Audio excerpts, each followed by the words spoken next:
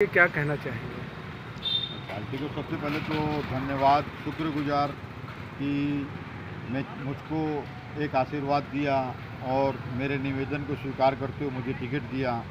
और पार्टी की जो आकांक्षाएँ, अपेक्षाएँ हैं, एक कार्यकर्ता के रूप में, एक अभ्यर्थी के रूप में और एक वार्ड विकास के रूप में, वो सारी अपेक्षाएँ उनकी पूरी करूँगा, पार्टी के हित में भी खरा उतरूँगा, वार्ड के हित में भी खरा उतरूँगा।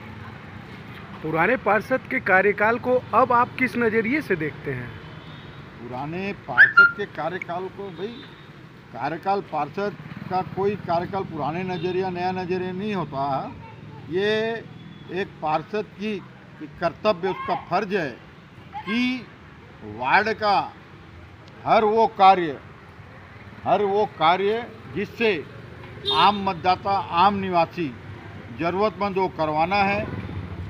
आम मूलभूत सुविधाएँ जितनी भी है, उससे पूर्ण रूप से परिपूर्ण वार्ड रखना है। किसी भी मतदाताओं को नगर निगम के से संबंधित कोई भी ऐसी तकलीफ़ ना हो कि जिससे वार्डवासी, वार्ड मेंबर के ऊपर, नगर निगम के